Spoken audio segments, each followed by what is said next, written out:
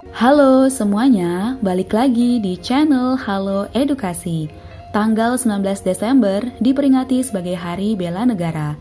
Hari Bela Negara yang biasa disingkat dengan sebutan HBN merupakan hari di mana para pahlawan dan pejuang mempertaruhkan nyawanya demi mempertahankan keutuhan negara kesatuan Republik Indonesia atau NKRI. Peristiwa tersebut terjadi pada saat-saat rawan setelah proklamasi kemerdekaan, yaitu pada saat agresi militer yang dilakukan oleh Belanda. Peringatan Hari Bela Negara diadakan untuk memperingati peristiwa deklarasi pemerintah darurat Republik Indonesia atau PDRI pada 19 Desember 1948 yang dilakukan oleh Mr. Syafruddin, prawira negara di Sumatera Barat.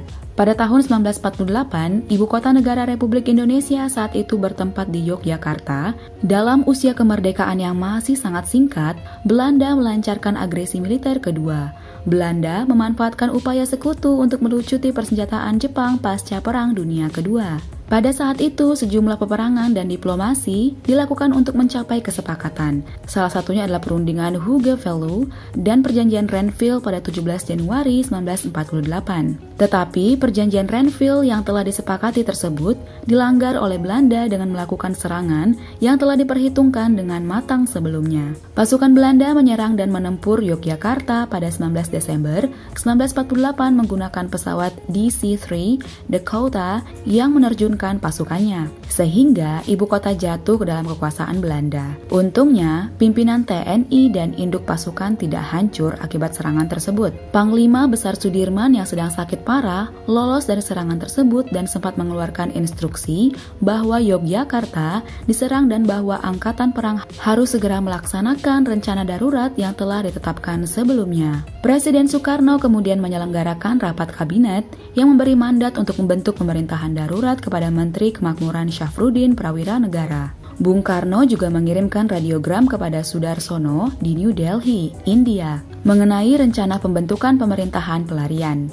Begitu juga dengan Wapres merangkap Perdana Menteri Bung Hatta yang mengirim perintah tertulis untuk meneruskan perjuangan. Beberapa waktu setelah penyelenggaraan rapat, Bung Karno dan Bung Hatta ditangkap oleh Belanda dan dibawa ke Pulau Bangka untuk diasingkan. Setelah penangkapan tersebut, Belanda kemudian menyebarkan propaganda bahwa Republik Indonesia sudah bubar dan tidak ada lagi. Mr. Syafruddin yang mendapat mandat dari Presiden lalu segera mengadakan rapat dengan Gubernur Sumatera, yaitu Teuku Muhammad Hasan.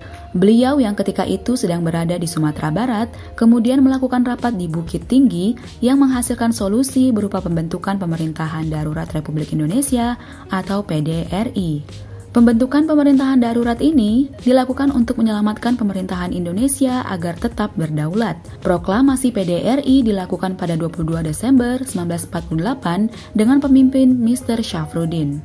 Sehari kemudian, beliau berpidato dengan disiarkan melalui radio untuk memperlihatkan bahwa Republik Indonesia masih ada.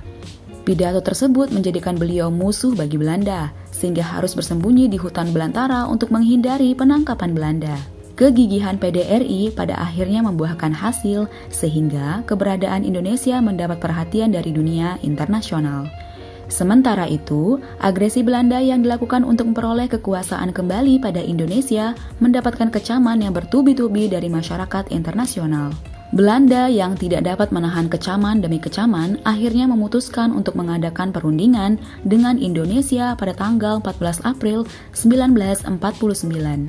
Perundingan tersebut menghasilkan kesepakatan bahwa Belanda akan menghentikan aksinya berupa semua bentuk operasi militer, membebaskan para tawanan termasuk Soekarno dan Hatta, kemudian mengembalikan Yogyakarta pada Indonesia.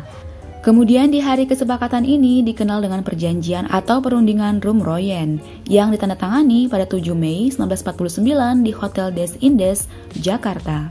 Setelah perjanjian tersebut, Syafruddin kemudian mengembalikan mandatnya pada Soekarno-Hatta.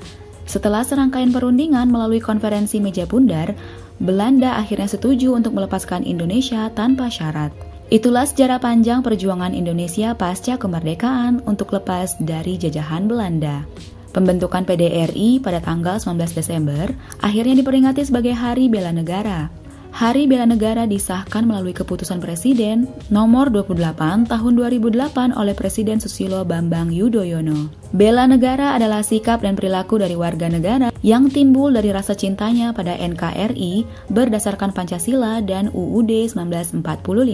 Bela negara dilakukan sebagai upaya untuk mempertahankan kelangsungan hidup bangsa dan negara. Upaya untuk mempertahankan tersebut termasuk rasa cinta tanah air, kesadaran dalam berbangsa dan bernegara, keyakinan pada Pancasila sebagai ideologi negara, juga rela berkorban untuk negara dan bangsa dengan bekal kemampuan awal untuk membela negara. Pada peringatan HBN tanggal 19 Desember 2012, pemerintah memutuskan membangun Monumen Nasional PDRI atau Monumen Nasional Bela Negara di area seluas 40 hektar, berlokasi di Jorong Sungai Siria, Nagari Koto Tinggi, Kecamatan Gunung Ome, Kabupaten 50 Kota, Sumatera Barat. Menurut Menhan Ria Mizat Ria Cudu pada kegiatan peringatan Bela Negara 2017 di Manado, Peringatan sejarah Hari Bela Negara dilakukan untuk dapat membangun karakter yang disiplin, optimis, taat kepada hukum, mau bekerja keras untuk negara dan bangsanya, taat kepada Tuhan sesuai agama masing-masing untuk turut menjamin kelangsungan hidup bangsa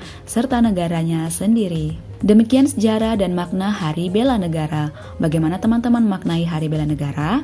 Silahkan tulis di kolom komentar ya. Jangan lupa untuk like, share, subscribe, dan nyalakan lonceng notifikasi agar tidak ketinggalan video-video dari Halo Edukasi. Sampai jumpa di video selanjutnya.